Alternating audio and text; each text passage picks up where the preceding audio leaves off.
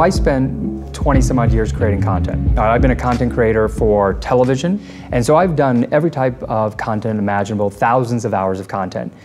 Today, I'm not the content creator. That's not my job, right? I'm not the one sitting there and manufacturing the content in the same way that I did for years.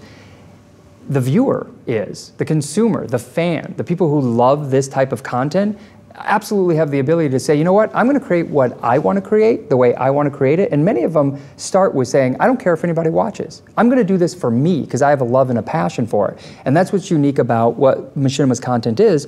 It engages to people who will get up and do something about it. They don't just sit there and watch, they want to participate in it.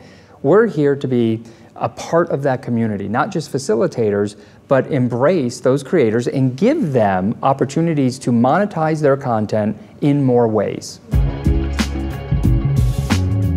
One of the platforms we work with is Twitch, right? Live streaming. And for years in television, everybody would say, oh, appointment television is dead, right? Mm-hmm. These millennials will never come to appointment television and watch unless it's sports, right? Traditional sports.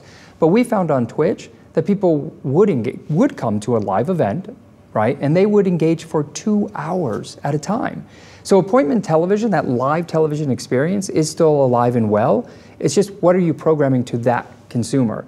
I don't look at any of this anymore in boxes of TV or digital or this platform or that platform. It's about people who create content and then find all the different places that it can be distributed.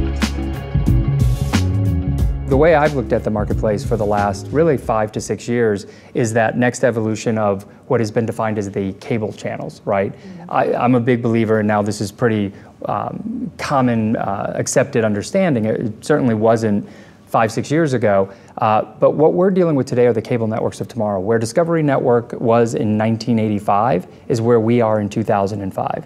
So I see Machinima 20, 30 years from now being a discovery network across every one of these platforms.